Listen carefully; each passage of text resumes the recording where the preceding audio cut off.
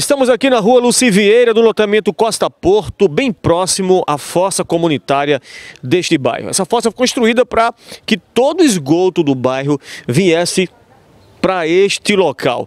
A nossa equipe já esteve aqui fazendo uma reportagem para falar deste problema e é difícil a situação dos moradores. O risco de uma criança cair ali dentro, muito mato que tem por aqui, mau cheiro, muriçocas, enfim.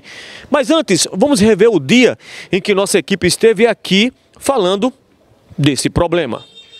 Muito bem, a nossa equipe de reportagem recebeu hoje pela manhã, através do nosso zap, umas imagens de uma foto é, de uma, uma fossa que está aberta, é, quebrou a sua tampa de proteção, aqui localizada no Costa Porto. Como a gente está fazendo esse monitoramento da questão da ponte ali do Costa Porto, sabendo se o rio está ou não com volume de água, a gente aproveitou a oportunidade e veio aqui ver se de fato isso estava acontecendo. E para nossa surpresa, uma grata surpresa, quando a gente chegou no local, a Prefeitura de Nazaré da Mata, através da sua Secretaria de Obras, já estava presente aqui e já está tomando as medidas cabíveis. Quais são?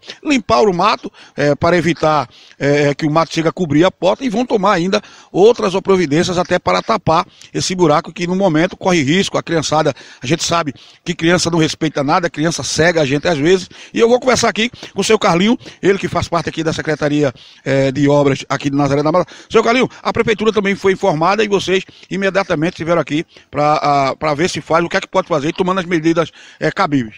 É, primeiro que tudo, meu amigo, bom dia, Leonardo.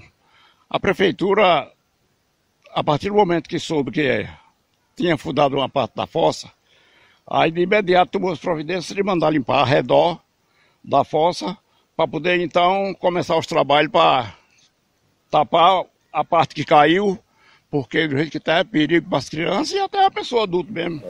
Quem chega aqui se espanta com a imagem. Uma água parada, cheia de fezes e esse buraco aqui enorme, colocando em risco a vida de crianças que podem de repente sair correndo, brincando aqui e cair aí dentro. O mau cheiro aqui a gente está aqui, mas é enorme.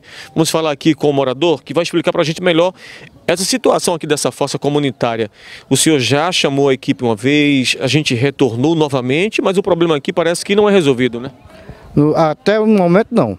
Agora é o seguinte, faz, na, faz uns quatro meses que está nessa situação e a gente sempre pede para vir é, é, resolver o problema daqui e até agora nunca vieram. A gente está querendo uma providência do prefeito, apesar de também a gente não sabe nem se o prefeito sabe disso, entendeu? Agora só é o seguinte, o risco é grande, o cheiro é, é enorme, risco a dengue, muriçoca, a gente aqui da, da comunidade não aguenta mais. A gente está querendo uma providência do prefeito ou então do secretário de obra.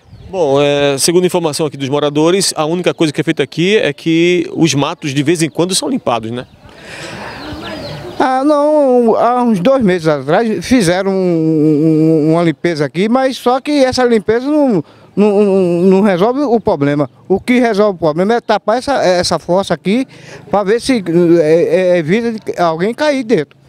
Acredite no que eu estou falando, viu? O mau cheiro aqui é muito grande. A gente está aqui gravando, mas você que está em casa não está sentindo o que a gente está sentindo aqui.